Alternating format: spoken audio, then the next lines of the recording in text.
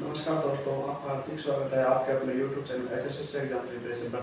दोस्तों, आज हम पढ़ने जा रहे हैं हरियाणा के कुछ ऐसे प्रश्न जो जिनके आंसर तो अलग हैं, लेकिन वे काफ़ी इंपॉर्टेंट क्वेश्चन है। परीक्षा में कई बार पूछे जा सकते हैं उन पे बच्चों काफ़ी कंफ्यूजन रहता है। तो दोस्तों, आज हम हरियाणा के ऐसे विविध प्रश्न करने जा रहे हैं जो काफ़ी इंपॉर्टेंट रहेंगे तो चलो वीडियो स्टार्ट करते हैं। सबसे पहले है दोस्तों, सबसे पहले रहेगा दोस्तों हमारा कर्ण का किला। कौन सा रहेगा? कर्ण का टीला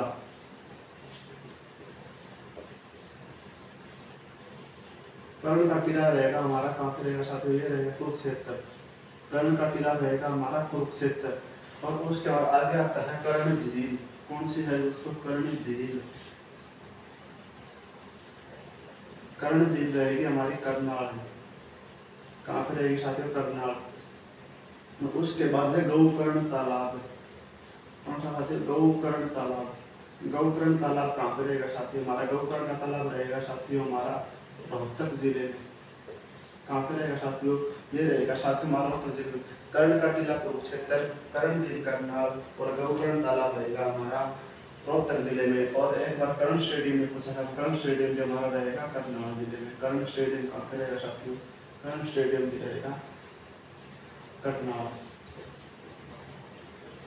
एक बार ये पूछा गया है कि कर्ण जय का पुनः निर्माण किसने करवाया कर्ण जय का पुनः निर्माण करवाया गया था बंसीलाल के द्वारा। कर्ण जेल का पुनः निर्माण करवाया था बंसीलाल के द्वारा। कब करवाया गया था? करवाया गया था उन्नीस सौ बहत्तर में। कर्ण जेल का पुनः निर्माण बंसीलाल के द्वारा किया गया था। उन्नीस सौ बहत्तर में और क्या हुआ था साथियों? उन्नीस सौ बहत्तर में पिन कोड भी उन्नीस में लागू किया गया था, पिन कोड भी उन्नीस में लागू किया गया था, और रोडवेज़ का राष्ट्रीयकरण भी उन्नीस में हुआ रोडवेज़ का राष्ट्रीयकरण भी उन्नीस में हुआ था। उसके बाद आगे आते साथ ही, उसके बाद आगे हम बढ़ेंगे, उसके बाद आगे है हमारा किसानों का मसीहा, किसानों का मसीहा।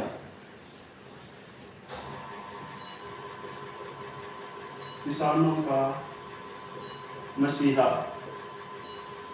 किसानों का मसीहा कहा जाता है। साथियों, चौधरी देवीलाल। कौन है? चौधरी देवीलाल। चौधरी देवीलाल। और जमींदारों का मसीहा जमींदारों का मसीहा जमींदारों का मसीहा रहेंगे साथी हमारे चौधरी छोटूराम, जिनका संबंध गाँव गढ़ी रोहतक से है। चौधरी छोटूराम। चौधरी छोटूराम। एक बार ये प्रश्न पूछा गया था चौधरी छोटूराम को सर की उपाधि कब दी गई थी? चौधरी छोटूराम को सर की उपाधि अंग्रेज़ों के द्वारा उन्नीस में दी गई थी। उसके बाद आगे बढ़ते साथी उसके बाद आगे आता है साथी हमारा काला तितर पर्यटन स्थल काला तितर पर्यटन स्थल। काला तितर काला तितर पर्यटन स्थल। काला पर्यटन स्थल रहेगा हमारा सिरसा ज़िले में कहाँ पे रहेगा साथी रहेगा सिरसा सिरसा और काला तितर प्रजनन केंद्र काला तितर प्रजनन केंद्र पूछा जाए तो काला तितर प्रजनन केंद्र रहेगा हमारा मोरडी पंचकुला काला तितर प्रजनन केंद्र काला तितर प्रजनन केंद्र रहेगा हमारा पंचकुला कहाँ पे रहेगा साथी ये रहेगा साथी पंचकुला उसके बाद आगे बढ़ते साथी, उसके बाद आगे हम पढ़ेंगे उसके बाद आगे हमारा, उसके बाद आगे साथियों, मंजी साहिब गुरुद्वारा, मंजी साहिब। मंजी साहिब गुरुद्वारा। मंजी साहिब गुरुद्वारा रहेगा साथियों, हमारा कैथल मंजी साहिब गुरुद्वारा है कैथल। मांझी साहिब गुरुद्वारा। मांझी साहिब गुरुद्वारा मांझी साहिब गुरुद्वारा रहेगा हमारा अम्बाड़ा ज़िले में। मांझी साहिब गुरुद्वारा है अम्बाड़ा उसके बाद है गुरुद्वारा मांझी साहिब। गुरुद्वारा मांझी साहिब।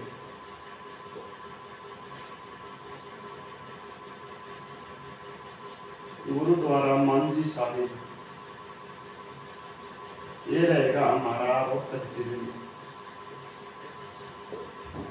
उसके बाद है गुरु मानजी साहिब गुरुद्वारा, गुरु मंजी साहिब। गुरु मंजी साहिब, गुरु मंजी साहिब रहेगा साथियों, हमारा पंचकुला। मंजी साहिब गुरुद्वारा कैथल मंजी साहिब गुरुद्वारा अम्बाड़ा गुरुद्वारा मंजी साहिब रोहतक, गुरु मंजी साहिब पंचकुला। उसके बाद आगे आता है साथियों हमारा बिरबल का छत्ता। कौन सा साथियों? बिरबल का छत्ता। बीरबल का छत्ता। बीरबल का छत्ता पे रहेगा? बीरबल का छत्ता रहेगा हमारा नारनौल नारनौल रहेगा हमारा महेंद्रगढ़ बीरबल का छत्ता है नारनौल और बीरबल का रंग महल पूछ रहा तो ये रहेगा साथियों, बुढ़िया गाँव यमुना नगर, बीरबल का रंग महल बीरबल का रंग महल ये रहेगा हमारा गुडिया गुडिया कहाँ पे रहेगा? ये रहेगा हमारा यमुना नगर गुडिया यमुना नगर। उसके बाद आगे बढ़ते हैं। उसके बाद आगे आता है साथियों हमारा हरियाणा का औद्योगिक नगर, हरियाणा का औद्योगिक नगर।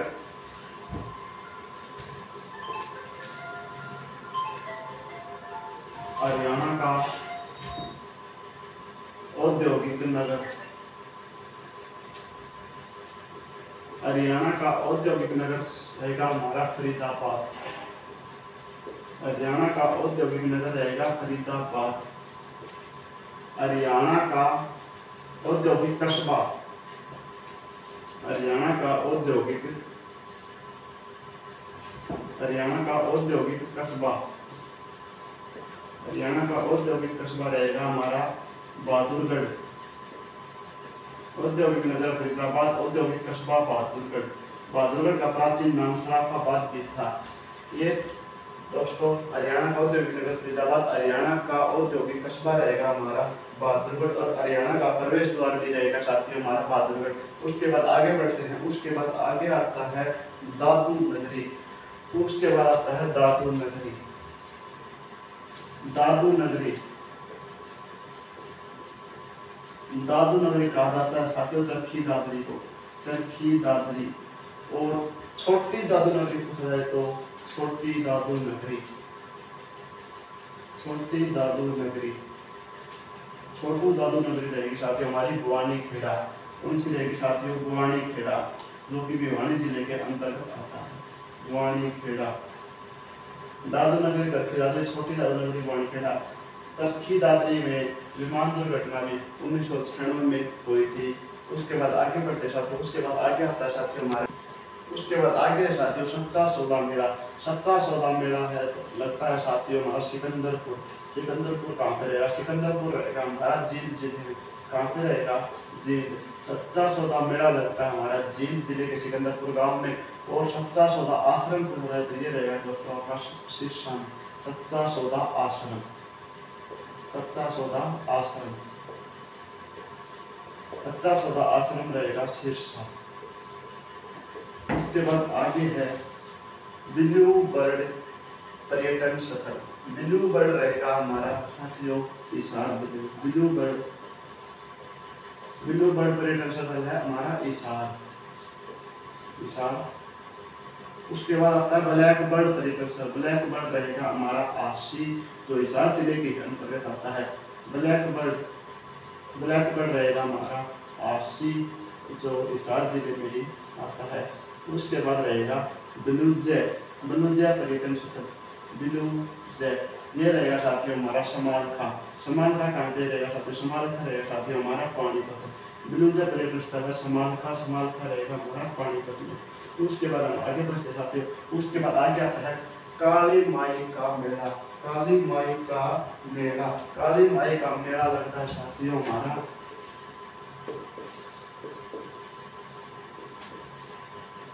काली माई का मेला। काली माई का मेला लगता है साथियों हमारा पंचकुला। कहाँ पे लगता है साथियों? ये लगेगा पंचकुला। और ये पूछा जाए कि काली देवी का मेला कहाँ लगता है? काली देवी का मेला लगेगा साथियों हमारा अस्सी। काली देवी का मेला। काली देवी का मेला है अस्सी, जो कि इसार ज़िले के अंतर्गत आता है। काली माई का मेला पंचकूला, काली देवी का मेला अस्सी। इसके बाद आगे बढ़ते जाते हैं, इसके बाद आगे हमारा आगे आते साथियों हरियाणा का क्लासिक गोल्फ मैदान, हरियाणा का क्लासिक गोल्फ मैदान रहेगा साथियों हमारा जींद ज़िले में पे रहेगा साथियों, जींद में, हरियाणा क्लासिक गोल्फ मैदान, जींद और हरियाणा का अरावली गोल्फ मैदान पर अरावली रहेगा साथियों हमारा फरीदाबाद, अरावली मैदान रहेगा फरीदाबाद, अरावली मैदान फरीदाबाद और क्लासिक गोल्फ मैदान रहेगा हमारा जींद ज़िले में। और दोस्तों, उसके बाद है कंट्री क्लब गोल्फ मैदान कंट्री क्लब कहाँ पे रहेगा? कंट्री क्लब रहेगा मेवात कंट्री क्लब गोल्फ मैदान रहेगा हमारा मेवात क्लासिक गोल्फ मैदान जींद अरावली, फरीदाबाद, और कंट्री क्लब रहेगा मेवात उसके बाद आगे आते हैं, उसके बाद है विष्णु भगवान की संपूर्ण मूर्ति कहाँ से प्राप्त हुई है? विष्णु भगवान की संपूर्ण मूर्ति विष्णु भगवान की संपूर्ण मूर्ति विष्णु भगवान की संपूर्ण मूर्ति ये मिली है साथियों, नौरंगाबाद और ब्राह्मणवास। नौरंगाबाद रहेगा आपका भिवानी ज़िले में और ब्राह्मणवास ब्राह्मणवास रहेगा साथियों आपका रोहतक, ब्राह्मणवास। विष्णु भगवान की संपूर्ण मूर्ति औरंगाबाद और ब्राह्मणवास। और एक बात बताया था शेष सैया पर लौटे भगवान विष्णु की मूर्ति कहाँ से प्राप्त हुई है? शेष सैया पर लौटे भगवान विष्णु की मूर्ति फाजिलपुर सोनीपत से प्राप्त हुई है। शेष सैया पर लौटे लेटे। शेष सैया पर लेटे भगवान विष्णु की मूर्ति। शेष सैया पर लेटे भगवान विष्णु की मूर्ति प्राप्त हुई है साथियों फाजिलपुर सोनीपत से। फाजिलपुर ये रहेगा हमारा सोनीपत इसके बाद ये पूछा गया था कि भगवान विष्णु के बारहवें वामन अवतार की मूर्ति बारहवें वामन अवतार की मूर्ति बारहवें बारहवें वामन अवतार की मूर्ति कहाँ से प्राप्त हुई है? बारहवें वामन अवतार की मूर्ति प्राप्त हुई है साथियों, हमारी तोशाम से। कहाँ से हुई है? तो तोशाम और तोशाम रहेगा हमारा भिवानी ज़िले में। कहाँ पे रहेगा दीवानी उसके बाद आगे बढ़ते हैं साथियों, उसके बाद आगे आता है साथियों सूरज कुंड का मेला सूरज कुंड का मेला लगता है साथियों हमारा फरीदाबाद, कहाँ पे लगता है साथियों? फरीदाबाद। सूरज कुंड का मेला लगता है हमारा फरीदाबाद। फरीदाबाद। और उसके बाद है सूर्य कुंड का मेला। सूर्य कुंड मेला लगता है हमारा यमुनानगर सूर्य कुंड कहाँ से लगेगा? यमुनानगर यमुनानगर उसके बाद है साथियों हमारा ओएसिस पर्यटन स्थल। कौन सा रहेगा साथियों? ओएसिस पर्यटन स्थल। ओएसिस रहेगा हमारा महम में। कहाँ पे रहेगा साथियों? महम में। ओएसिस पर्यटन स्थल ओएसिस रहेगा साथियों हमारा महम महम कौन ज़िले का अंतर्गत आता है? महम रहेगा हमारा रोहतक में। उसके बाद है आशीष रेस्टोरेंट। कौन सा है? Ashish restaurant. Ashish restaurant. Ashish restaurant कहाँ में पर रहेगा ये रहेगा हमारा जी रहेगा हमारा महम रोहतक और आशीष रेस्टोरेंट रहेगा हमारा में। इसके बाद आगे बढ़ते साथियों, इसके बाद आगे आएगा हमारा तो दोस्तों, एक सॉरी दोस्तों, ये रेस्टोरेंट रहेगा हमारा करनाल में। कहाँ पे रहेगा साथियों? एक बार आप ठीक कर लेना। ओसिस रहेगा हमारा करनाल और आशीष रहेगा साथियों हमारा जींद उसके बाद आगे बढ़ते साथियों, उसके बाद आगे आएगा साथियों हमारा उसके बाद है Chaudhary Devilal Chaudhary Devilal stadium. Chaudhary Devilal Chaudhary Devilal stadium. Chaudhary Devilal stadium कहाँ पे रहेगा साथी हमारा चौधरी देवीलाल स्टेडियम रहेगा हमारा गुरुग्राम ज़िले में। चौधरी देवीलाल स्टेडियम कहाँ पे रहेगा साथियों ये रहेगा साथियों गुरुग्राम। चौधरी देवीलाल स्टेडियम गुरुग्राम और ताऊ देवीलाल स्टेडियम। ताऊ देवीलाल क्रिकेट स्टेडियम या ताऊ देवीलाल स्टेडियम पूछा जाए तो ये रहेगा हमारा Panchkula. Tau Devilal stadium south Devilal stadium रहेगा हमारा पंचकूला. कहाँ पे रहेगा छात्र ये रहेगा हमारा पंचकूला. तो दोस्तों, ये कुछ ऐसे प्रश्न थे जो देखने में तो एक समान लगते हैं, लेकिन इनके उत्तर अलग होते हैं। तो ये कई बार ये प्रश्न परीक्षा में लगभग लगभग ज़रूर पूछे जाते हैं। तो दोस्तों, ये कुछ ऐसे प्रश्न थे जो आपके क्लियर हो चुके होंगे। तो दोस्तों, अगर आपको ये वीडियो अच्छी लगी हो तो इसे लाइक और शेयर ज़रूर करें और चैनल को सब्सक्राइब करना न भूलें। धन्यवाद।